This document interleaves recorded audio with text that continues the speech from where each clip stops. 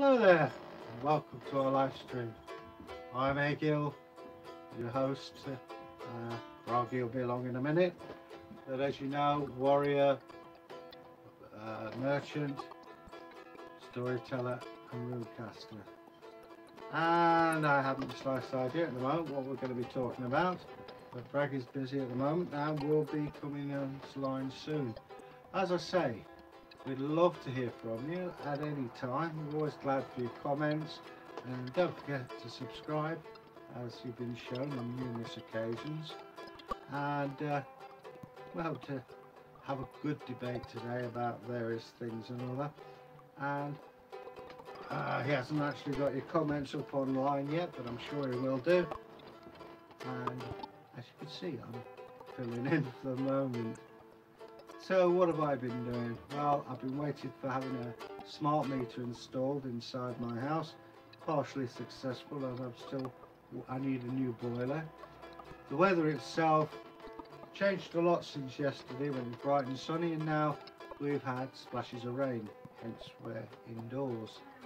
Uh, promises to be uh, a bit better later on. But as I say, I mean, we will be covering uh, various topics. Uh, one of my own particular ones, which we'll be covering later, is good old Queen Athelflaed, who came to Derby and booted the Vikings out of Derby. And uh, very interesting uh, character, surprisingly little written on her. I've got one book about her, uh, the lady who fought the Vikings. And I think we underestimate the effect or the influence that she had uh, she could have been a queen in her own right, but she didn't because uh, her father, King Alfred, wanted a united Britain, United Kingdom. And she was called Lady of the Mercians, title that was newly invented. And following the plans that had been drawn up between her and her father and her brother, Edward the Elder, they moved forward on the Vikings like I say we will be doing this uh, in greater depth later on but at the moment I just thought we'd give you a, a little taster. So unfortunately there's very little um, that we know of the actual battle in Derby. I tried to work out the route that she came. So you know Derby today is it's a city but there's some interesting bits about it. It's got a great history um, there's um, Amen Alley down the side of the cathedral. That's where the money is used to hang out and make coins. Iron Gate we know to be um, a Viking. Iron Gata. Gata is the Norse for street. So Iron Gate means Iron Street. Sadler Gate. Now St Mary's Gate, that's under some uh, scrutiny because we think it's possibly later than the Norse period. The marketplace where the war memorial is, that's a good contender as well for Viking Age. The very name Derby means farm of the deer and Northworthy, well that was the name before then. But history of Derby goes way way back to the Celts and it's called Devenju, meaning place abounding in oaks.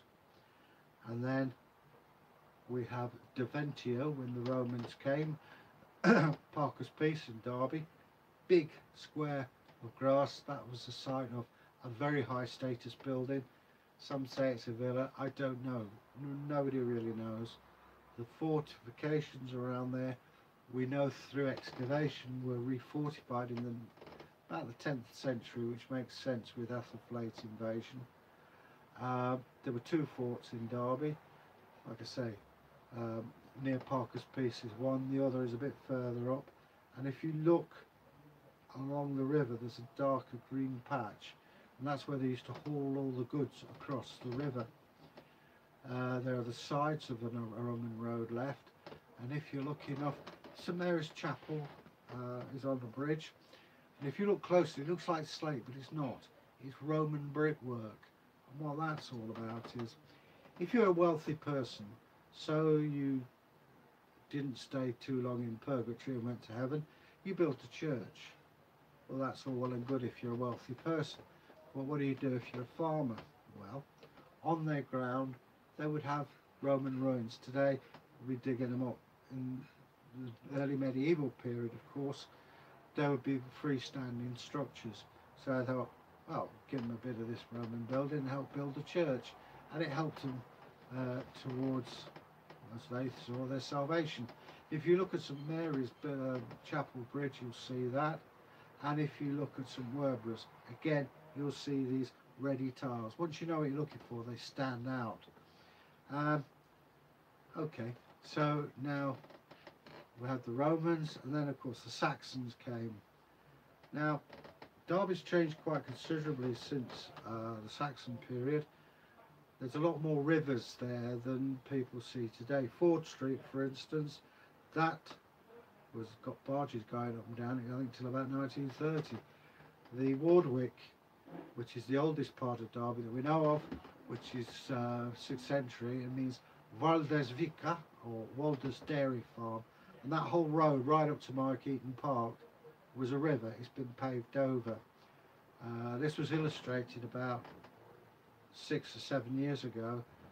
A, lorry fell through outside the bank uh, near St Peter Street, fell straight through and there was vaulting there from the 16th, 17th century.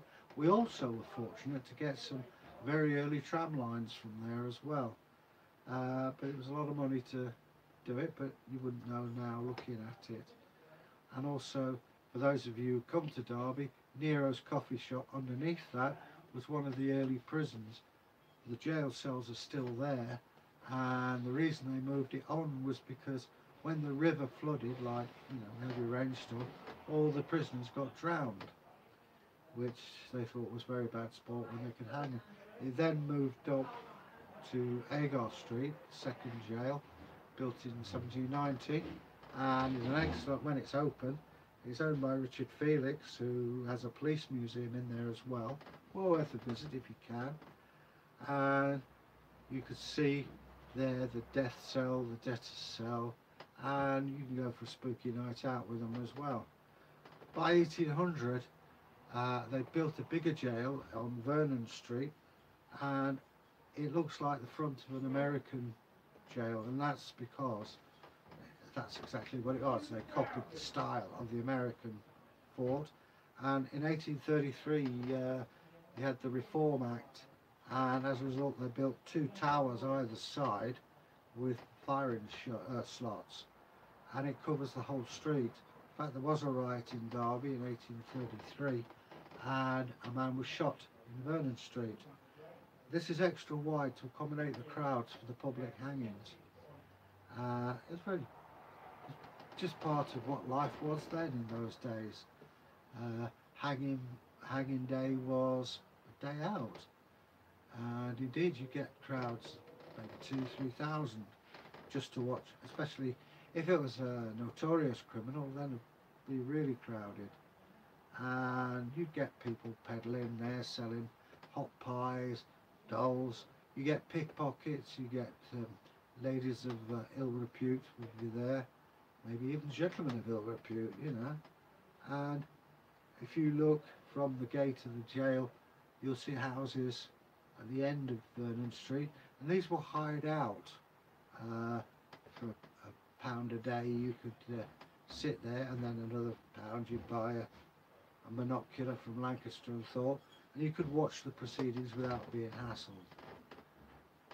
But hanging is, there's a lot of strange, what we would think of as strange things. We bought out, they loved, the crowd loved it if the person being hanged confessed. It was printed in a broadsheet, sold for a penny. They'd be hanged. And now, hanging was a slow process. You were choked. So your friends would come, hang onto your legs and try and snap your neck. This is where you get the phrase, pull the other one. Once the person was dead, they were left to hang. And the women would then come forward and they would touch the goiter, any goiters they had with the dead man's hand.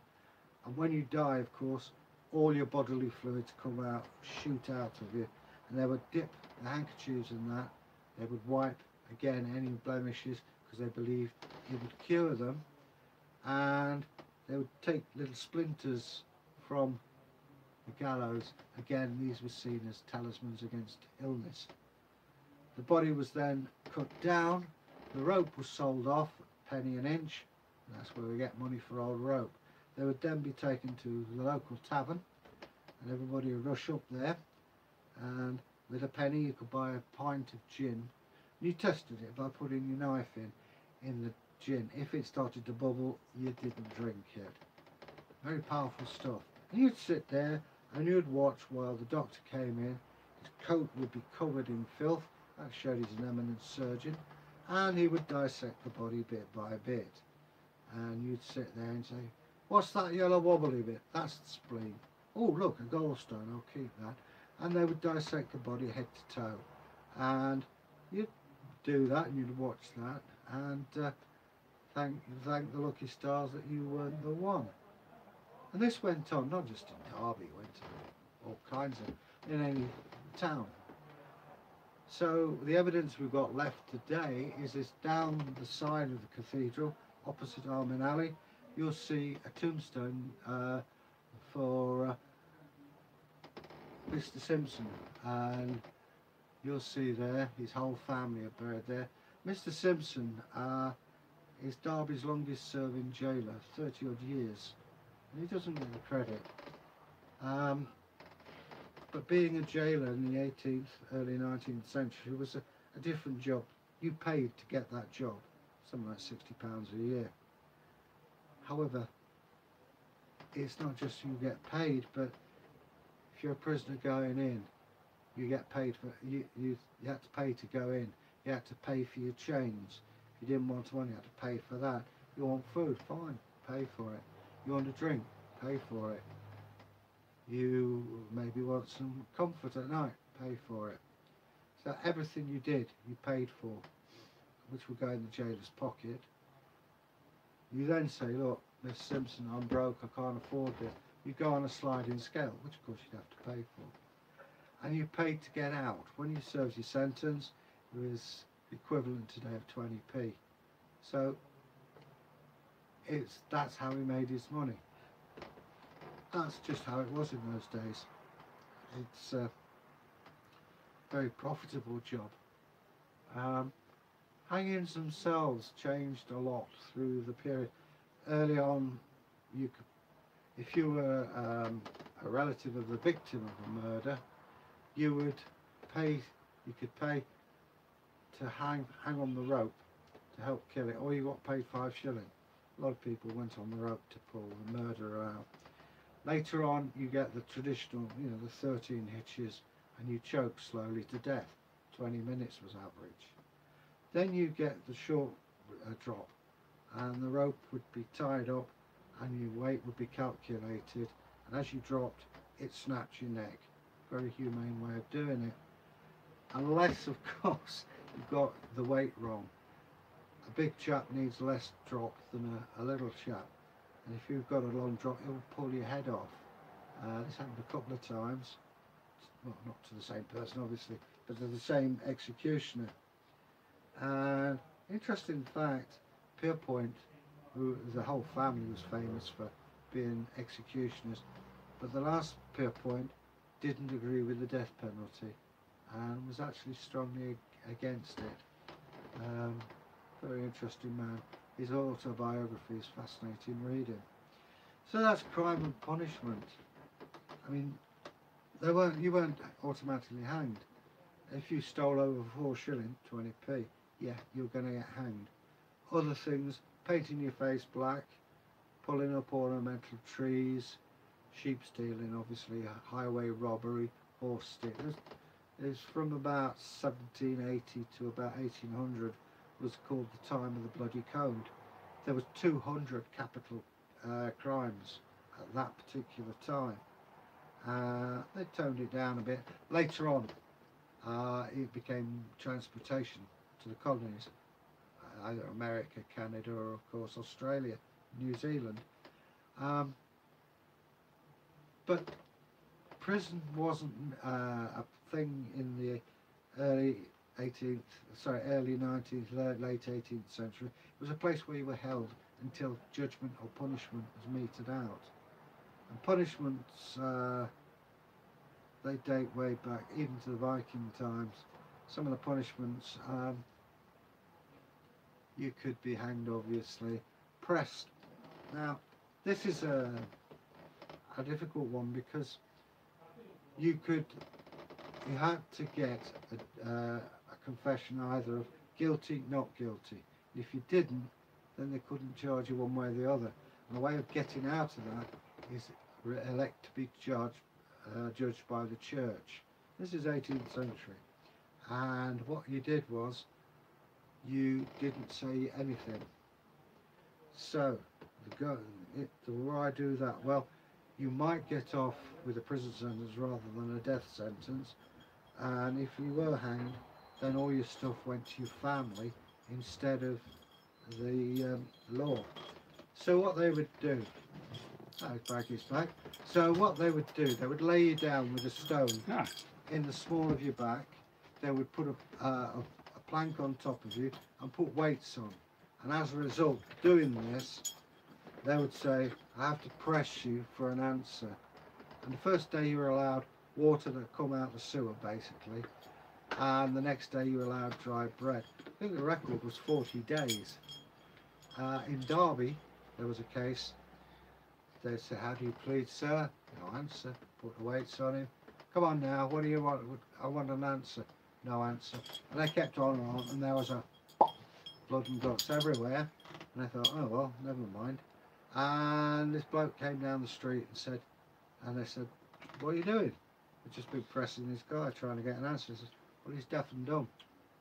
Uh oh, and that was the last pressing that we know of in Derby, probably in press England. ganging. Yeah, he was just pressing to get a confession out of people. Oh. So, yeah, that was one of the punishments. Now, imagine Bragi. Uh, this is in the 18th century. by Oh, right, yeah. Uh, you start giving it. Oh yeah, I was a. You wanted to be a servant.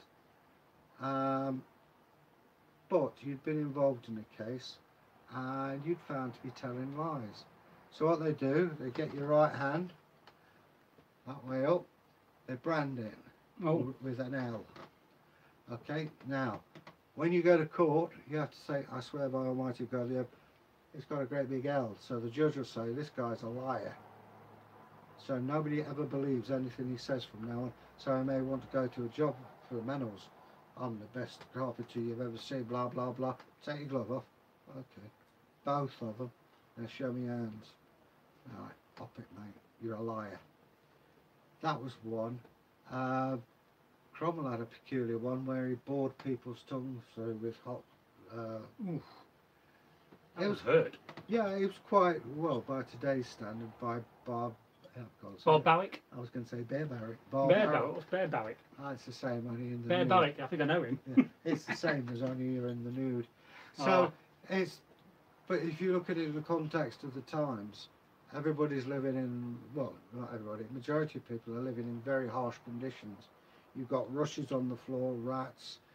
you've got water leaking in. You're not getting enough food, so it's got to be worse than what you've got. Otherwise, it's uh, more of a holiday. If I reverse the camera, we can see any comments being left. Yeah. So anyway, that's a bit about crime and punishment. Bragi is back. I am back for a few minutes. Okay, let's have a look and see what's going on. That's better. We can now see who's watching, and we can also see any comments coming through. So, hello, Yeah. welcome if you're watching to this live stream. As you know, I am Bragi, and this is Egil. Yeah, and I've been boring you about uh, crime and punishment in Derby. Now, we've been filming today, and uh, what have you been filming, Egil? Well, we took two sagas. Yes. Um, we, were, we did a folk uh, story. We were going to do something about axes, but unfortunately the rains came. Yes, it did start raining. we also did a bit of foraging. Yes, we did Uh, a short video on foraging in the dark I've ages. still got a black blackberry seed in I my know teeth. they do get in your teeth blackberry Ah. seeds. It's uh, most strange. Yeah, annoying. I've still Yeah. got it in there. But hey ho, life is. Would they have strawberries? Yeah, and loganberries. Loganberries, you forget them. They're lovely. They're. I know. And Loganberry wine's nice. Well, also, I mean, you've got them. Myrtle wild strawberries. Wild strawberries. Oh, yeah, They're I like love alpine strawberries. strawberries. Yeah, that's them. Um, when I was a kid living at Wengroves Hall, we used to get Loganberries. but we never told anybody because we used to eat them rather than tell anybody. But, uh, we It's told funny, them funny what you do at school. Yeah, well, but uh, yeah, as I said, foraging was good fun. Uh, I was telling people I had a meter put in, Oh, right, yeah, not your on meat. me, but in the flat. No, you don't want to put it in yourself, do you? Sure, Where would you put it? Oh, I don't know. I can think of a number of places. But apart from that, uh, I'm start. Here's things. I'm starting a diet on Monday. Oh, right. I'm going to get my blood sugar down and my weight down. Well, if we do some more combat, we'll soon lose some weight. Well, also, if we keep it a weight uh, log, Yeah. uh, then we see whether I'm going the right way or not. Well, yeah, we could have this updated each week in the vlog series, couldn't we? yeah. That would be excellent. I just listen out in case my my brother's around at the moment, just Yeah. downstairs looking after my father. So if I have to go, that's where I'm Yeah. going to. It's the perils of being a full-time carer. You're carer, Cyril deserves But it's it. important job. I've got some comments here. Oh, it's a guild of green men and woodrows. Good luck on the diet, he says. Thank you. Was hail to you. Yeah. Uh, I'm trying One of our great Saxon friends, not a Viking. yeah, well, Saxon. They're uh, good friends of ours, and uh, one day I hope to go to Virginia and see them. Oh, we all do. We'll do Yeah. a world grand tour. Mm. You know, Iceland, Mm. Sweden, Denmark, America, Virginia, Grimsby. Grimsby. Well, I've got to go to Grimsby. No, but I, I like, you know, the, it's a, yeah, it's a personal thing as regards religion. I'd love to see them. Because that just reminded me of the folk tale of uh, a Grim and the merman of Grimsby Island. all right, It's a good one, that. you've got that one on. Yeah, I know that one yeah. off by heart. So I, I, once I told a folk tale, I generally don't forget them. Well, I'm the opposite. I tell them, Yeah. and then it's just white. It's like the old videotape. Well, I you, you should try to retain them because, you know, there's always potential of going out telling to people. I don't know, because then when I relearn them, I tell them completely different. Yeah, I think you're going to do a live stream telling my folk tales at some point, Mm, ones I can remember. Yeah. But that's when we'll be doing more solo and individual live streams, as we're both not used to it yet.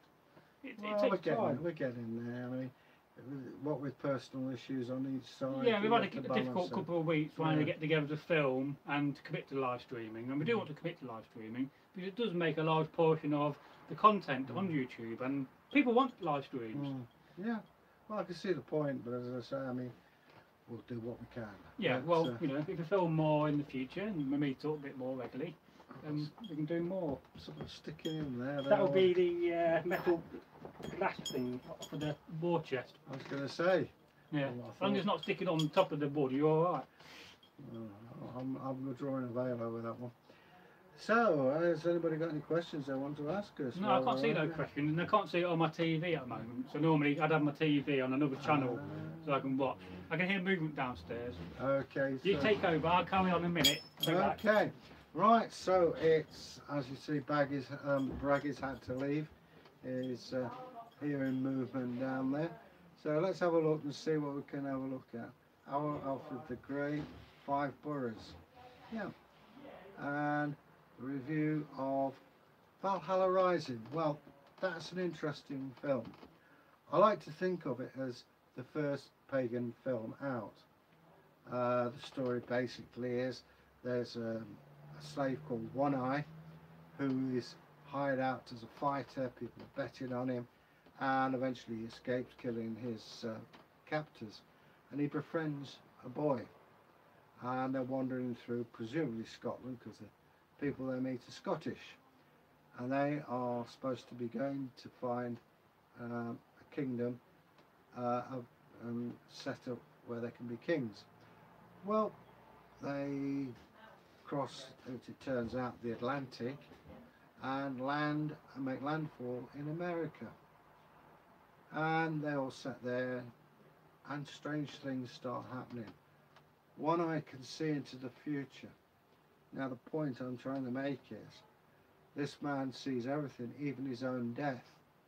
Um, but he would rather see go, experience his own death like that and go to Valhalla than just negate everything and just getting away from it all. I've oversimplified it, but it, it's quite an interesting uh, story. If you forget that some of the swords are totally out of period, but I mean that's just just ignore that. But it's the way people are cast, and It also makes you wonder what the inhabitants of America at the time, Native Americans, thought. Who are these people? Um, yeah. So it's worth watching. It is very gory. If you have children, perhaps it's not a good idea. There is a disemboweling scene in it, which is pretty graphic. But yeah. And it's whether it's factual or not, it doesn't really matter. It's just a good film. Now, I'm also looking at the content list here, the Battle of Brunanburh. Um, interesting. King Athelstan, who was the first Regia Anglorum King of England, and he grew up with my heroine, Athelflaed. More about that in another time. And he, again, was trying to have a united kingdom, which included Scotland. He fought his way up and actually got King Constantine of the Scots to swear um, fealty to him. Uh, there are a couple of comments, I can't read them at the moment because I don't have glasses. When Bragi comes back we'll read them. Now, they were still singing from the fact that uh, Athelflaed had booted them out of the, the Vikings out of uh, Derby and Leicester and they wanted revenge and Viking called Sil Silky Beard teamed up with Constantine and they were gonna kill Athelstan. Athelstan was seemed to be dithering. He was waiting. He got his army together and they attacked but still nothing happening and eventually Athelstan moved. He was patient man. He was getting on a bit and if you look at the Anglo-Saxon chronicles, you will see he absolutely trounced them. He killed King Constantine. Half the Viking fleet had to be left behind because of the uh, many deaths. And he sorted them out, but good. Now, we don't know where this actually took place. We know it was a big battle. And ironically, it's very strange that uh, you see the sites of battles. One thing was the Cuerdale hoard, which was a massive, about the size of this, this uh, chest, full of silver, silver coins, silver ingots, hack silver. And what we think that was, was part of the pay for the Viking army. But of course, people got slaughtered, they couldn't carry it back, so they buried it. It was found around 1840. Parts of it are in the museum in Liverpool. Um, very impressive bits, and I, I, guess the rest is in the British Museum. But it goes to show the great wealth that was there. But as I say, Athelstan, he was the first king of all England. Now, my character, Egil Thorsson, well, it's based off Egil Skallagrimsson. Egil Skallagrimsson was a friend of Athelstan um, he presented Egil with a shield and Athelstan had a famous sword called Kvenbiter, Cornbiter, and it's said that he could got a millstone he'd hack it in half with his sword. I wouldn't advise you doing that personally because it would uh, damage the edge of, of a good sword but apparently it would, didn't had no ill effects. So that virtually kicked the wind out of the Vikings for a number of years. By this time, of course, people were mixing together as time moves on. They do. To become the English rather than Norse or Saxon or whatever. So, yeah, you know, it was a significant battle. It was as significant then as the First and Second World War is in the 20th century to us today. So yeah, so I'm looking down here at this board to see what else we've got. Uh, right, where's Danelaw? It's very difficult because normally I wear glasses. Egil's Dig series. Goddess Freya. We did that today. Had to put an armour. Well, there's a lot there, but unfortunately, you need each other to do this. Um, so you know, I mean, the Vikings and the Saxons. Yeah, as I said earlier on about Derby, um, it was a frontier town.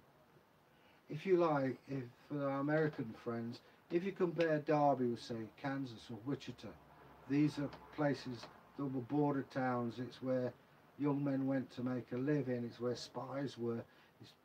Warriors would go because you've got to go from Danelaw into Wessex, and yeah, you, you'd have a turnover of people. There'd only be a few, say 200 people uh, living there permanently, but you'd a lot of more people going through, either going through or, or going back up to York. So yeah, uh, a turbulent place indeed. It's a bit more quiet now, of course, but in the 18th century, it had its own miniature sort of industrialisation. Don't know whether you know it, but Derby um, had its first factory there. It's possibly the oldest factory in the world. It uh, was about 1700, 1702. It was a silk spinning mill uh, owned by Thomas Cotchett. Uh, the problem they had with the silk was they couldn't, to weave it properly, it has to be circular. And this was more like D-shaped. John Lombe was the manager of the. Uh, ah, he's back again. Back again. We've got some comments. I can't. Uh, they've, they've been up. If you have a look, we can see what. Yeah, I have to look on my TV, but I don't got my TV or computer on. We won't ignore you. No. Thanks for your comments. I can go through your comments and put them on the comments reading video. Yeah. So, Well, I'm on about the uh, silk mill at Derby. oh, the silk mill. What, the pub or the place? The pl- well, the, the the actual factory. Or um, John Lombe actually went to Piedmont and stole the idea of weaving silk. Had he been caught, he'd have been hanged. Now he brought back with him a guy called Guardivaglio and the Italian woman, and they came back. Now conveniently, John Lombe was dead Oh. in a couple of years. Now Most unfortunate then. very convenient because his uncle got 150,000 pounds. A lot of money in those days. Yeah, and a knighthood. And at the time, Lombe was making 80 pounds a week, but he wasn't paying the river authorities. So, sorry for him to die. Now, what happened was he died over a number of weeks in a great deal of pain. And even at the time, they suspected poison. The favoured poison was arsenic. It was called inheritance powder. Oh yeah, get it from yew trees. Now, what you do is, this is prior to the marsh test, leave the body in the ground, year later, dig it up, if it's still sound, you've got poisoning. That sounds like a folk tale I told recently Mm. called the, the Corpse That Would Not Rot from Iceland. Well, anyway, John Lombe's body was taken round Derby and buried. year later, they said, where's his body? Don't know, Guff, can't find it. You know how it is. Well, cheers. They hadn't found his body, and we don't know to this day where it is. It's probably next to Joseph White's body that I found. However, however, if they found the body, you could have proven whether that was arsenic poisoning Well, of course or so, yes. Now, the Italian woman was arrested. Now, bear in mind, she was foreign, she was a woman, and a Catholic. Three things you didn't want to be in 18th century Derby or anywhere in 18th century England. But she was released through lack of evidence. And then, surprise, surprise, Guardivaglio Mm. opens a mill. Ah, This it didn't succeed, but the point is he opened a mill. Now I smell a rat. Also, the government was involved because Lombe on his way back was chased by the Italian Navy, or what was it, the Italian states, well, it's then, hardly a navy, is it? Italian. and smack into the Royal Navy. So that is a diplomatic incident, has to be dealt with, and it's convenient that he possibly dies. Now, you may think I'm to- talking a load of rubbish. I can only go on the evidence, and I invite people to have a look at that and see what's going on. The mill is now a museum. I worked there for 10 years when it was the Industrial Museum. It's now a little different. They're doing it up. Oh yeah, oh, and it's forge. Yeah, well, yeah. Craigie here owns the forge, along with some uh, Lots of equipment. putty. Oh yeah. You Oh, I remember that. yeah. Private joke. Um, Oh, poor Midland. yeah, well, made them laugh at work, I tell you. But having said that, you know, it, uh, if you come to Derby, go down the side, you'll see some arches. They are the original arches for the original museum. Uh, Mill. yeah, Oh, But- yeah, if you come to Derby, perhaps we could do a meet-up. Well, yeah, I can always do a tour, of Derby and Yeah. show it. But, uh, well, Bragi is back, so I can. Now, let's talk, on talking about the 18th century. What would have they known in the 18th century in Derby about Viking Derby? It depends. Derby itself was, um, you had some of the high ups in the Lunar Society, Erasmus Darwin, you know where the, Oh, yes. yeah, in the marketplace there's the tourist information. Yes. That's where Erasmus Darwin lived. You had um, the watchmaker, Oh, um, Smith. yeah, it's uh, Whitehurst. Whitehurst, yeah. Whitehurst Smith was the third First, generation. yeah. and he was not only a superb watchmaker, he was the uh, he discovered that the earth looked like lasagna in various layers. Um, he also became aware of the king's money. You also had Joseph Wright, the famous artist who hung around with Mm, him. Could be related to me. Yeah. and of course we had Dr. Johnson, who Oh, yes. it's noticeable once he got married at St Werburgh's Church. He nipped off pretty quickly when Erasmus Darwin came because Erasmus Darwin was a darn sight cleverer. He eventually went to Lichfield, well, they both did. But the Lunar Society was a collection of gentlemen exploring science and technology. And we even had such uh, visitors as Benjamin Franklin. Oh, came yes, he here. came. A couple of Uh, times, didn't he? Yep, Thomas Jefferson came. Yes. Um, in fact, Benjamin Franklin was big friends with Whitehurst. Uh, an American told me, and I'm only repeating what he said because we nobody really knows, that he did his famous experiment with a kite, with a key, that he's supposed to have done that at Derby. I don't know whether he did or didn't. If he did, great. If, If you know, please leave it in a comment. Benjamin Franklin, as I say, was um, instrumental in American independence. For those of you who know the works of Joseph Wright, if you look at Lecturer of the Orrery, those are gentlemen of Derby who supported the American Revolution. Um, when you think about it, it makes sense. You know, you can't blame them for getting uppity. They're paying out taxes and not allowed to represent themselves. And let's face it, you know, how are you going to administer a massive country like America from London if they don't want to Well, be it's a heck of a job. Well, it's like, you know, it's the old, old story. You make more friends. It's easier to make friends than it is to. Well, keep your friends close, or your enemies closer. Uh, so they say. But, but I think um, it's a good job that we are friends with America. Otherwise, oh, yeah, I love Americans. yeah, we'll be talking. We'll be talking German otherwise. Well, if, if the American Civil War was, you know, if the British went in, then America would now be five or six countries. Mm, So, you know, it's yeah. it's funny how one little thing can change history. Yes, but it changes, and that's the way it is. But uh, yeah, so I mean, Derby itself, as I say, has had a rich history, uh, and it's still making history today. Well, of course so. Look at us, we're making history in Yeah. Derby. I was thinking more of Toyota. And, Well, uh, yes, not uh, Egil and Bragi. Yeah, yeah.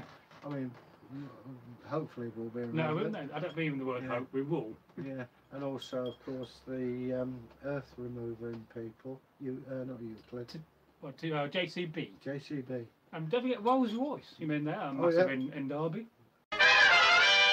Definitely would But do talking about Derbyshire, uh, one Uh-huh. thing I've not talked about Derbyshire is Blue John. Oh yeah. And most people, you know, you may be saying to yourself now, well, Bragi, what is Blue John? Well, Blue John is a precious stone. It's only found in Derbyshire, as far as I know. And oh, strangely enough, they were digging in the ruins of Rome, Yes. Rome, and they found a massive bowl of Blue John. Yes, and it makes you think whether the Vikings and the Saxons knew this stone and whether they mined for it, because you know, previously the Romans would have mined uh, very heavily, in fact. Well, we haven't, as far as I know, and I'll stand corrected, we haven't found any Blue John in Viking context. no, What we do that. find is a lot of jet, yes, jet's very popular. yeah, and um, trilobites, Mm. which Oh, have yes. been made into necklaces, um, and sea stones. In fact, I'm wearing one. Yeah, you got one up there. Yeah, you've got a whole load of them I, outside. I do have a load hanging up. They're meant to bring you good luck. Yeah. And of course that's why they wore them. So, yeah. Uh, as for actual Blue John, I know of Roman examples, Romans definitely used Blue John. and it's running out because It is running out. Yeah, now you can't. We used to get things like that. Now it's a lot smaller, and they'll even glue pieces together to get the uh, size they But need. you know, you, you can imagine a Viking or Saxon finding Yeah. some Blue John and working it into a bead, you know, or Well, the thing with Blue John is I have a book on it at home for a change, and you could tell which mine it's from by the yes, I, I believe that. Yeah. I, I used to be a caver, so I know a lot about Ah. this. Be a, a speleologist. Well, I As you to- call 'em. Yeah. But yeah, I mean, Blue John's very interesting. There's a cave up Derbyshire with a massive pillar of Blue John, Wow. but they can't take it out because it will bring the cave down. Uh, so that's worth a lot of money. And certainly in quarries in Derbyshire, you can go along, you still find it in the cliff faces, small bits. I've got a bit of it. I've, got a bit of Blue John over here, I think. Is it Blue John? Well, it's weird. They call it Blue John, and yet it's reddy purple colour, isn't it? Really. Fine, purple John sounds a bit weird, I suppose. Well, I did have a bit. That'd be an interesting thing. Where do they get the name Blue John from? That's it. Well, Yeah. Here's a bit of Blue John. as you can see, rather than being blue, it's purpley. You hold it to the camera a bit closer. Prawn. And this is a, a very natural product of Derbyshire. It only occurs in Derbyshire in the whole world. And I'm, I'm surprised there's no context yet with Vikings and Saxons ding for it. It may well be. I expect that will uh, happen in time. You'd think they'd be on crosses and things like that. There's some else you could talk about. Amber. Amber. Now, amber, this is, it's not actually a stone. What amber is, is fossilised tree sap. There we go. And those of you who uh, uh, know about Jurassic Park, is a mosquito set in uh, amber. Well, you can get frogs and all sorts. You can indeed. Can be worth a lot of money. And the whole thing, there's even a rum in Russia uh, that they had called the amber room. Yes, I've heard of this. Some say it's well the Nazis took it, but whether they destroyed it or buried it, we don't That's know. That's lost, isn't it? Yeah. It, uh, Oh, Texas Sagers. I Allegedly, think, uh, Blue John is from the French Blue June, which means blue yellow. Yes, I think I have read that before. well, that's fair enough. Uh, Luckily, I got to see that message long enough to read it. yeah, it's uh, that's good to know that because you know I often wondered about that. Where was it? Oh, south. Now, um, what's it called again? Blue, oh, uh, uh, amber. Amber is was a, a very tradable commodity. Right, I'm getting up. Okay. You carry on. especially in the Viking age. Bye, Bragi, see you in a bit. And amber was used in necklaces and various other bits of jewellery. And so popular it became that around the Baltic coast you have the Teutonic Knights. And they took it upon themselves to say, we own all the amber that's found. And there were barrels and barrels and barrels of amber, which of course they made a lot of money at. If you took amber without the Teutonic Knights' permission, they would kill you. That's how important it was to them. Today you can buy necklaces of amber. They're very expensive. The ones with the flies in and the creatures are more expensive, but you have to be careful. Uh, some say if you put it in salt water, it floats. We'll see. I can't remember, but it's best test is if you get a lighter and a pin, get it red hot, and then touch it. If it goes in to the amber, it's plastic. It, you could tell plastic when you heat it up. So that's amber. It's very important. Uh, we have, if you go to Jorvik, you'll find amulets made of amber. Uh, as I say, we haven't found Blue John yet, but it doesn't mean to say that they haven't weren't aware of it. I mean, it was a commodity like everything else. But jewellery as a whole, as um, as you can see here, I'm dressed up to the nines, and it's rather like the travelling people. You showed your wealth by what you were wearing. You dressed your wife up in the finest and yourself.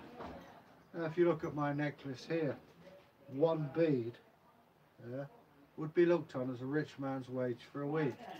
Shows I'm very wealthy. And beads, as I say, were very.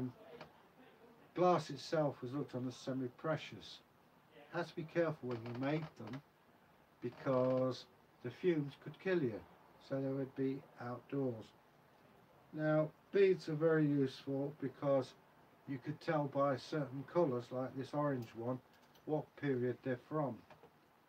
And in Jorvik, especially, it illustrates this best of all. Because of the uh, way Vikings lived, left a layer of detritus, bones, pots, human excrement, the lot. And if you can imagine a multi-layer chocolate cake, and it can be up to 15 feet deep. Each layer is a generation of people's detritus. So you go through each one. and we found orange beads were only around about the 8th, 9th century. Weren't before or weren't after. Fashion. It's like everything else, it's a fashion. But you learn from each period. Now, you heard me talk about excrement. Excrement is a fascinating subject. I was lucky enough to be taught by Dr. Jo- Bone Jones. The thing about excrement is you learn so much about people's diets and possible life habits. Bragi's back in town. I'm So, back. I'm talking about excrement. Oh, So what? Dung. Yeah. So you talk about that. What's so great about it? Well, we break it down with acid. If it smells really bad, usually it's human. But you can look in there. Now, you learn about the types of food people ate. Apples, for instance, were about that big, yes, I'm surprised by that. and you ate the whole lot. Plums and sloes, you ate the whole lot. Mm. Now, there are Plum certain sauce. things you can digest and certain things you can't, like today tomatoes, um, sweet corn, and various other things. Well, they didn't have sweet corn. No, exactly. But we know they had cherries and we know that they had apples because the stones had got mouse teeth marks on. So they passed the relevant bits and then mice and rats had a go at it because not everything they ate was digested. Well, of course so. Now, an interesting thing, uh, Dr. Jones wanted to know if you ate a fish skeleton, how much of it would be absorbed. And he was looking for a volunteer because you'd have to eat the fish and the skeleton and then pass it and go through the aforementioned mess.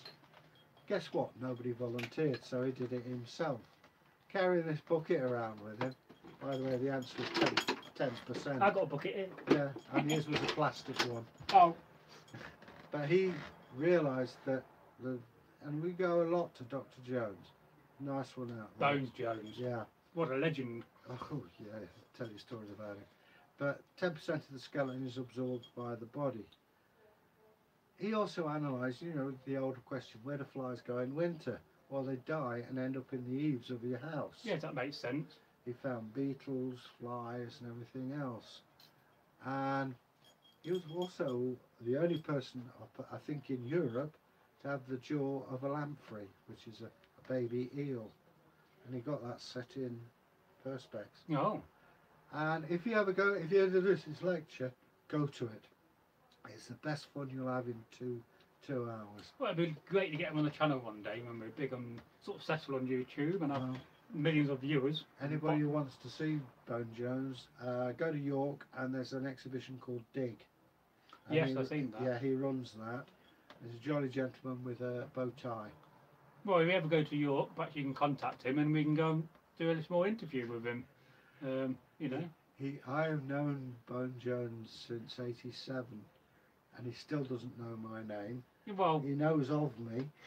that's Um, funny that. Yeah, I it, no. If you met him, you'd understand. I was Uh, having some beer with somebody the other day and I don't know his name. Yeah. but no, he's a great man. He used, he used to do folk dancing. You know, where they do the Oh, Star yeah. David. He used to do that, but uh, That just reminds nice. me what my dad said in the hospital when he said, "What is it you don't like?" And he said, "Morris dancers." well, I quite Well, there you go. It makes you think how old Morris dancing Yeah. is, you know. Well, that goes way back to Celtic times, if not before. Mm, There You are some explanations, but uh, yeah. that's another video. But another place, you're well worth a visit. So over to you, Bragi. Yes. So what can we talk about next? Well, I don't know. Many things come to mind. Let's have a look on the board. Let's have got navigation in the Viking Ah, Age, I can help you there. and, and I've still got to make a navigation device so we can make a video. That is a popular one. They said it was a sundial. Yes. Uh, there is. metal going through. There are, hang on. People are actually uh, challenging that. I'm a Morris dancer. Oh, Robert. Oh Yeah, good. Superb. Yeah. no, I love Morris dancers. Now, Not literally. when you read the sagas, you hear of a sunstone. Yes. I have a sunstone. What it is is Icelandic fluorspar. Yeah. And it only works with Icelandic fluorspar. I've got Mexican fluorspar, which doesn't work. And what it is, on a day like this, you hold up your fluorspar, and where you find the sun, it forms a rainbow. Once you know where the sun is, you can work out your direction. And that's very clever. Yeah. And it's said that a princess found it on the seashore. And would they have used the stars to navigate, or would that Oh yeah, been too early? there was a various things there. They used the stars.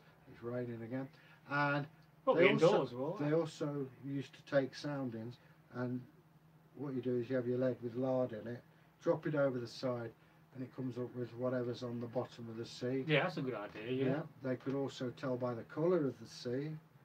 Um, they could also see if you've got lots of seagulls, Seabirds. Yeah. you know you're near land. In fact, in the Viking series, but Raven-Floki, and what it was, Raven-Floki would go to sea with ravens, and when they they would release the ravens, if they came back, they knew there's no land, and if the ravens didn't come back, then it's a chance there's land. Yeah. Oh, that would have crashed into the sea.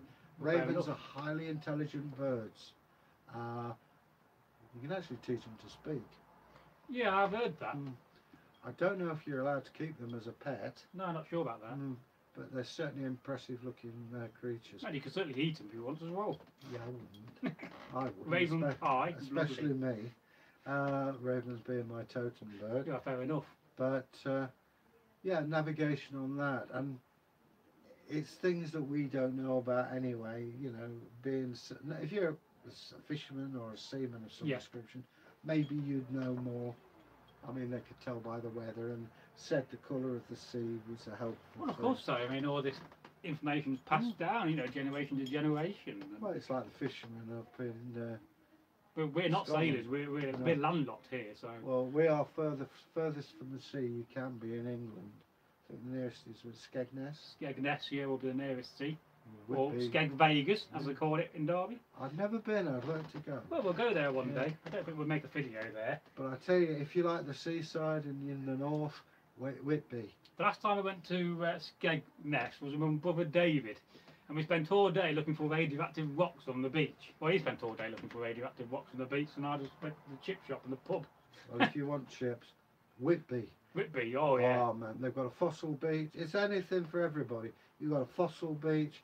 If you like the Kiss Me Quick hat and the ice cream, they've got that. Antique shops, they're loaded with them. Dracula. Yeah, Dracula. And if you look at the monastery on the hill, the Vikings raided that. Yeah, we'll have to go there and Mm. film there. Uh, fish and chips, the best in England. And I don't care what anybody says. I got a fish, I thought it was Moby Dick. Oh yeah, I can always remember that time when I came back from Derby when I used to go clubbing. Mm. And it was about one in the morning. I went to the chippy, and they gave me a bag of chips that was like this. Yeah, And and I literally I left a pile of chips from from little over to middle over. And for the next few days I could just see these chips on the ground where I left them. Well, They had that many. That's yeah. massive. Well, they're probably getting rid of them, so they didn't, Did they have, have chips? Makes you think. we didn't have potatoes. No. So there you go. Well, as I say, we. Maybe in Newfoundland they might have found one. well, thing about the Vikings is when you hear what they ate, it sounds revolting. it does to a degree. Dried fish. Yeah. Well, what you Bottom do, birds. you soak it in water for 24 hours. Then you get all the salt. Then you get wild garlic. Put that in the water, You've got a nice garlic and a bit of butter. Yeah. You got a garlic. You got a nice garlicky sauce to go with your fish. That to me sounds rather nice. Yeah, but I suppose when you've been drinking mead all day, you don't really care what you eat. well, they. It's like everybody else. I mean, you eat as uh, the best stuff you can. Well, of course you do. Um, you could go out. We hadn't got rabbits, but they had hares. yes. You had deer. So would hare coursing be the thing? Yeah, yeah. That's what the the greyhound dog is a Viking lord's dog. Well, of course so. Yeah. Uh, the hare itself, you, I suppose, in Celtic mythology, the hare is sacred, which is why they were gassed when the Romans were munching down they saw of their gods. I'm always interested in the Celtic folk tales and some of like the uh, uh, from Finland. How they revolve revolve around animals more than people. It's always Well, interesting. We, you have totem animals, and the hare w- was sacred because it seemed as though they could disappear and reappear. They're actually very good at camouflage. I mean, when you consider the size of a hare, I don't know if you've seen one. Well, they are quite large. Yeah, there's like a size of a, a small. You get these really big ones as Yeah, well. we used to find People them when at. Carsington when I was digging.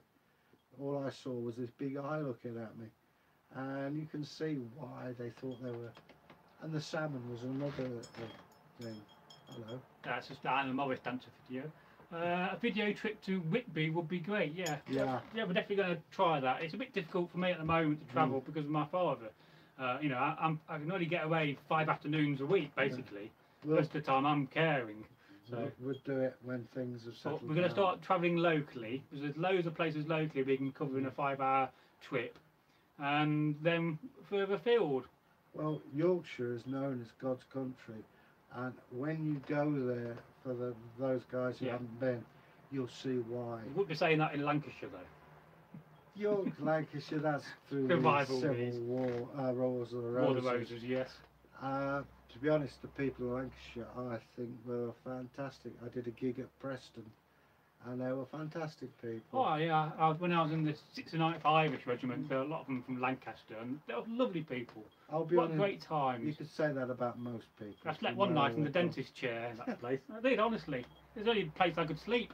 Well, Fred Dibnah country, isn't it, Preston? Oh, well, yeah. Well, we're not. yeah. Yeah, we're 58 minutes in. Yeah, well, Carry on for a bit longer. So as I say, uh, Whitby is a beautiful place. When I was a student, uh, what you did on a Saturday, you paid a fiver, and the bus would leave from the railway station, a minute past nine, take you to Whitby, over the moors where you got Fylingdales and all that, and then you end up in Whitby, and the bus would leave at a minute past six. So you had a nice day in York, in uh, Whitby, and I love York anyway. I'm biased.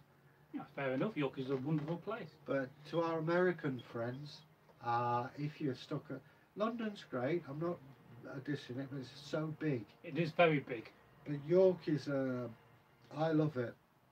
And there's actually down Gillygate a chip shop where the actor Charles Bronson used to go with right, yeah. his wife Jill Ireland. and if you go to that chip shop, on the wall there's pictures of Charles Bronson and Jill Ireland, and they've signed them. Oh, that's cool. Mean, what a Uh, great actor he was. Yeah, and he used to come every year, and he would go specifically to this chip shop in Gillygate. Uh, Another place with is Chester. I like Chester. I have a brother who lives in Chester, Very nice well, place. Ellesmere Port. Uh, I went there as a child, and there's some beautiful uh, walls around there. Hello, what did I Uh, say? well, Thorbert's having to sign off now, so goodbye, Thorbert. See you, Thorber. Thank you for hanging around with Yeah. us. I say I've been around a bit longer, Well, um, but no doubt we'll catch up in the future. We'll be slipping back into the And we still have 21st. three people watching. Good. And we, we like live streams. We- We should have done a bit more live streams in the past, but we just found it a, bit, a little bit difficult. well, Chester is a great place. And I remember as a child, and they've still got them, these windows, instead of just being straight like that, they curve in. yeah. And you think there's no glass in the windows. Mm. But I went there. The excellent museum in Chester. Uh, for those who smoke, there's a great uh, tobacconist as well. Yeah, there is, yes. Uh, A but rare the, thing. yeah, and the walls are mostly intact, and they've got antique shops on it and everything. Um, but Chester is a beautiful place. Um, resurrected by Queen Athelflaed, by the way. Oh, right, I didn't know. Yeah, I It's did a- know that, I forgot that. It's a Roman city, Yes. but uh, it was in ruins when Athelflaed came, and now it's a, a, a big city. Liverpool is a good place to be as well. Yes, I like Liverpool. Uh, a big hi to my friend Max and Rowan. Uh, hope to see you soon. Liverpool is fantastic. I loved it. We get the wrong impression. People give it a negative view. It's not like that at all. Oh no, the, the buildings there are just fa- you know fabulous. Their museums. Uh, I went to. I did the Wakamaka Splasher, Oh yeah, which is a World War II yellow duck uh, amphibious vehicle. I don't Yes, care whether it's cliche. It's freezing cold, but we went along the river, along the Mersey, and I saw the registrar office where John Lennon got married, the entrance to Chinatown, very impressive. And people, there are some marvellous restaurants in your in um, Liverpool. Everyone has a pride. One thing about Liverpool is the people have a pride in their place that you don't see anywhere else. oh yeah. I just love the accent. I do. It's also a friendly place as well. That's right, mate. But um, there's good shops there as well. Uh, I was on the Royal Dock. I was with the only couple who didn't like the Beatles because I'd like to. How can you in. not like the Beatles unless they like Rolling Stones more? Well, whatever. There's also other in a museum of slavery, which I would like to have gone in. Yeah, I didn't didn't know that. But And of course, that's the subject we talked about. yeah, modern art subjects as well. This is all on the Royal Dock. But you go up the hill, and the local radio's right at the top of the tower. You got the live birds and everything. Oh yeah. Oh, it's fantastic. So anyway, uh, I've babbled on about Liverpool, York, Chester.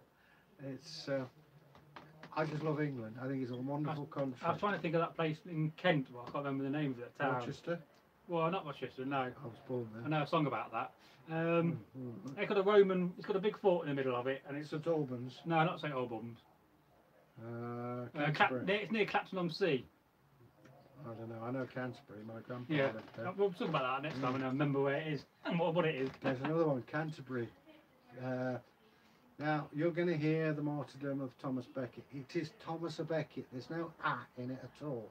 It'll like be calling me Egil Abranskul. Yeah, It doesn't happen.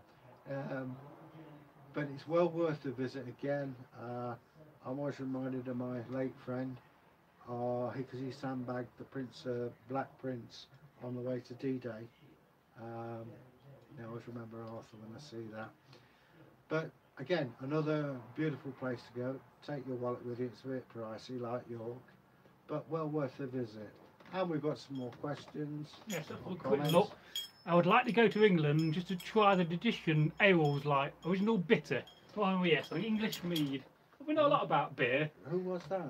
I, don't, it's a, I, I didn't quite see the names. As I was reading the comments, and it's a pity I don't have my TV on. I, I could have gone back and saw it. I thought I think it's a new uh, subscriber or somebody Yeah. new on the channel. So hello and welcome. Yeah, Great well, to see you say, here. Uh, I assume you're from abroad, so if I you, think they're American, saying that they'd love to go to England. well, if you are coming to England, let us know, Yes, and we'll take you around the pubs at Derby. yeah, or even to Burton, Well, the capital of beer of the world. hey, Burton. Now, uh, was, I was thinking of the uh, Dolphin. The, the Dolphin, yeah. And the Seven Stars. I'll go down there. I'll be two pound a pint there. It's nice. and Seven Stars. That's about three dollars a pint. Yeah, but uh, yeah, Burton is a great brewing place. It's more industrial. Yes, It's got a nice town hall and library. I was a bit disparaging because I actually worked in Burton and they worked. it's a nice hard. place, but it, it just needs a lot of work doing to it, and not there's not been enough investment over the years, despite the massive beer industry they have there. They've got a very big industrial unit. Boots are there. You've got uh, there's various other firms as well. Yeah, massive warehouses that supply the shops. I mean, they, they do a lovely IPA, um, Indian Pale Ale. So, And um, I like to go to the Bridge Inn because the Bridge Inn actually used the original well, it's the Burton Brewery used to use, and that's very, very pure water. That's oh, lovely. I'm not a great beer drinker. I drink Guinness, Newcastle Brown, but mostly I prefer wine or brandy. Because Newcastle Brown is where the saying, I'm going out to see a man about a dog comes from. That's it's dog they call it. Yeah. But I can drink that. But actually, you remember that time we went? I went to a show, and uh, we had real ale. I had Yeah. half of it, and then the rest to me tasted like sweat, and I Was- poured it on the ground. Was that an antiques fair? Yeah. Uh, that was where I got my Your, some of your medals? yeah. because you look very bemused because I go into medal mode. Well, he loves his medals. I just switch off and it's faux, and I, I have to apologise beforehand because I just went off like a rocket. No, that's fine. I mean, these live streams, you know, can be any random subject, you know. Well, I mean, I I must admit, you know, we sat down in the tent and I, I drank half of it and offered the rest. Yeah. I had to throw it on the ground because it, it just Well, that's the problem with ale and beer, is that it, it can take a long time to find a real nice ale. And you know when you've got a nice ale, because it's a kind of ale and pint which you pick up and you drink in one go because it's so nice. Well, if you go to Nottingham, the trip to Jerusalem, that uh, claims to be the oldest pub in Britain, and I should think it's pretty close. Because it wasn't called that back in the day, was it? No, it was, it was founded in about 1200. Yes, it was. Yeah. 1200. Well, if you go there, they do excellent food, but also sample beers. I went with my mate Rob, and there were three samples of beer you could buy. Well, not this year, but next year they should be doing the Robin Hood Festival Oh, at, yeah. at the uh, Nottingham Castle. So I think we might go and try to get into that and do a tour of it, and then we can finish up doing a little tour of the uh, trip to Jerusalem. It's a very nice old pub. Anybody visiting Nottingham, well worth going to the trip to Jerusalem. Well, I'll always go there. There's a, there's a ship in a box, glass box, and it's never been cleaned because anybody who cleans it dies. I think the last time you, were probably there, it was lots smaller, but since that they found some more caves and Yeah, made it a um, bit bigger. took us about two, three years ago. But they've got the game where you have a chain with a ring and a horn out the wall. Yeah, I got I got that one Yeah. upstairs. I That's- can't remember Bagatelle, is it? I don't No, know, I but forget now. I had a go at it. It's good fun. I like the, the pub where you can go and play skittles in a pub. Devil Among the Tailors. Yeah. That's called where it's on a s- chain. But it makes you think, you know, back in the dark ages, there you are in your long house, you Mm. got all your friends over, you got a few barrels of mead. What kind of games would they have played? Well, You know, there's drinking from the horn, which Yeah. I've left. My, I've put mine away. we used to do the spinning around the spear until you got dizzy. And also there's this is where the yard of ale comes from. Yeah. Drinking, and you get the airlock and whoosh. But I can't drink a pi- uh, more than a pint of ale. Well, I went out had uh, five pints the other day. Lovely. That's more than me. Yeah, But uh, five pints is about my limit. I like a bottle of wine, white wine, red wine. I Like a That's all rosy right. wine. I like brandy as well. Well, yes, I'll give you some every week. Yeah, That'll be reserved for Christmas. yeah. Oh, may lasts that long. Yeah, well, it makes you also think about the availability of stuff they could buy back in the day, you know. I have to tell you, bad news. I drank that brandy you gave me. Oh, right. Well, I thought it wouldn't last very long. Yeah, it was good. Good drop that was. Well, But, it's uh, very old as well. Yeah, so am I. I not that old. Yeah, but it was good drink. Uh, what did I say? That's about all, I think, isn't it? Uh, any more questions? Uh, Well, if you've got any more questions uh, you want to ask us while we're here live on Yeah. YouTube, well, um, please do so. down there. well, have you gone through the list? Of, Uh, well, that's I've, all I've content. this- I've done the Valhalla Rising. Yeah, yeah. Well, we're going to do a video on that soon. Uh, it's a very good film. Yeah, it's like I say, if you've got children. I think the main uh, trailers we're going to review next are the series trailers for The Last Kingdom and The Vikings, Hmm. which will be in total for about eight or nine videos. Is that Bernard Cornwell who did The Last Kingdom? Uh, it, no, I think it might be based on some of his books. Yeah. I, I forget now. I not saw, I, and I remember seeing the video 1000 AD. The last book I bought was the uh, uh, Game of Thrones book.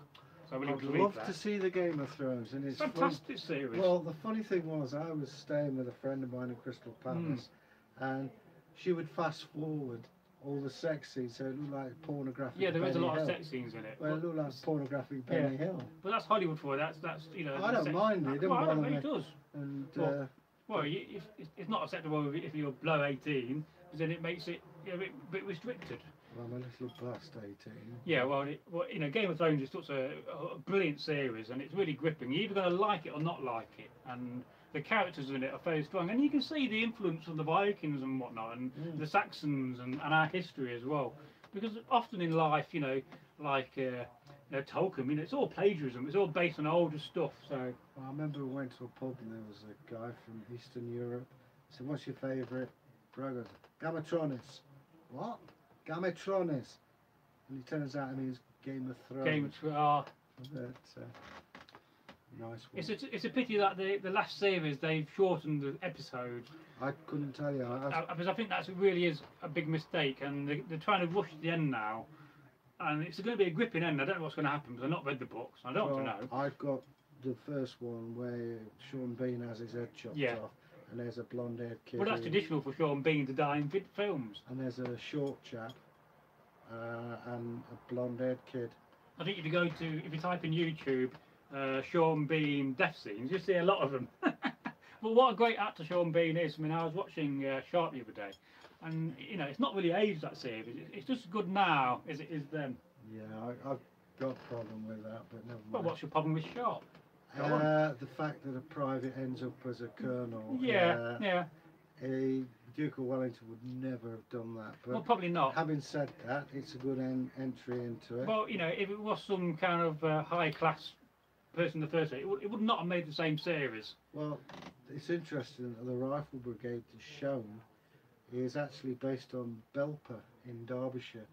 Uh, it was The formed. Belper a- Yeoman, Yeomanry? yeah, it was formed after the Napoleonic Wars, but they wore green uniforms and they had favoured men. Now, if you go out Belper towards Ambergate, you'll see the, the boats, and that's where they first started um, target practice. Yes. Was used up to the Second World War. They went out of favour then for a time in the 50s, early 60s.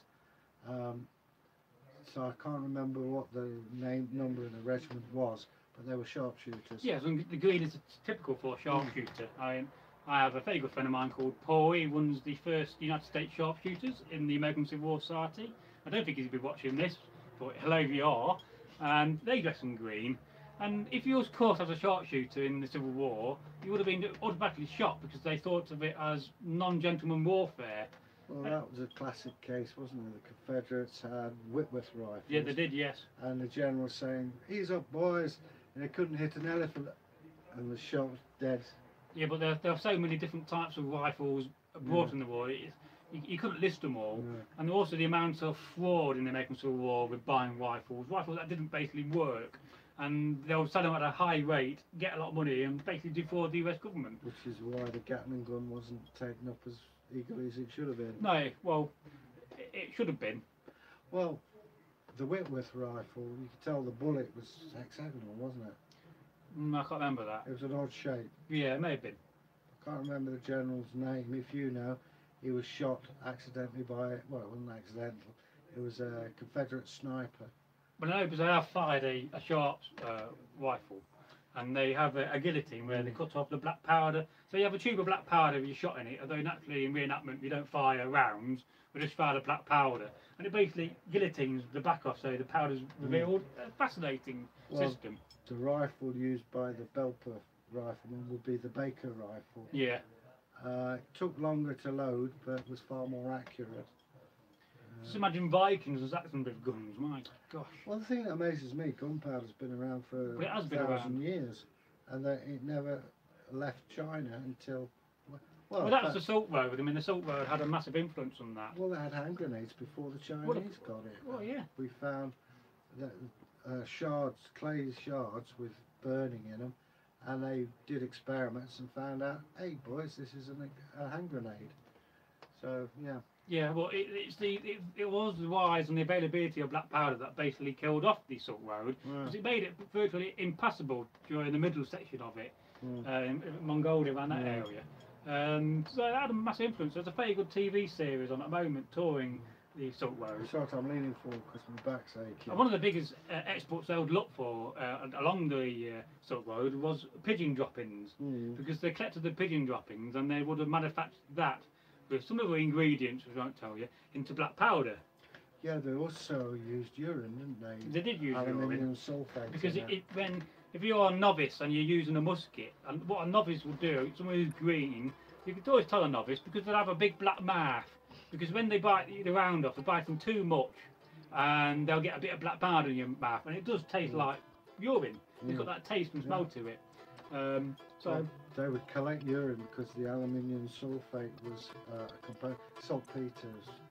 Because during the Napoleonic Wars, you used to donate urine for the troops to make, you know, gunpowder for the troops. oh, yes. Um, but yeah, But you know, the, the supply lines must have been fast. yeah. Well, Yeah. Just imagine if, if that technology had reached the Dark Ages, what, what difference it would have made. Yeah, well, But it didn't. You know, I, I prefer the sword and the spear and the axe. Me personally, it's, it's a closer form of combat, although more bloodier.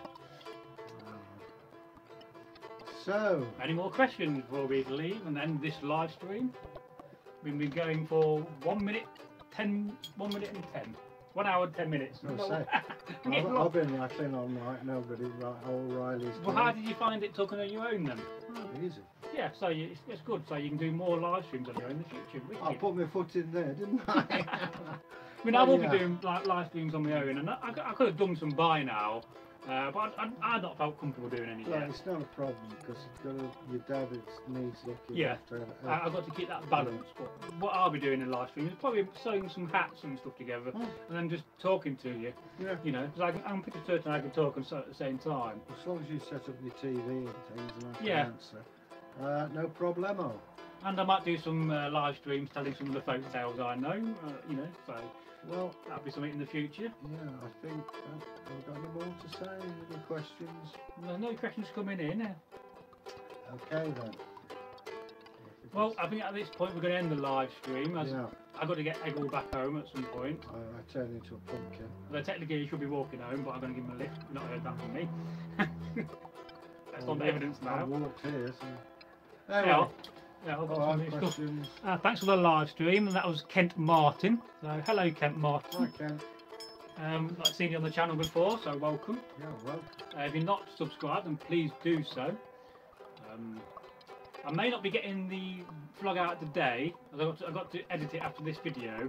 It can take some time. The editing process is very short. Uh, have a good evening, everyone. Well, we certainly will do. We'll both having a shandy and something nice to eat, like steak. So, hi. Hello, hello, Kent. I can. Great name. Yeah, well, I remember steak. Mm, well, well, we'll get you some steak one night when we're around here. Oh dear. Yes, so Okay then. But for now, it's a goodbye. Yeah. We'll see you in the next live stream. And if you want to check out our playlist of live streams, then I think it's in this one over here. You've got to point in the opposite direction. it's confusing. I know. Um, I'll put that playlist if I remember. And remember, steak.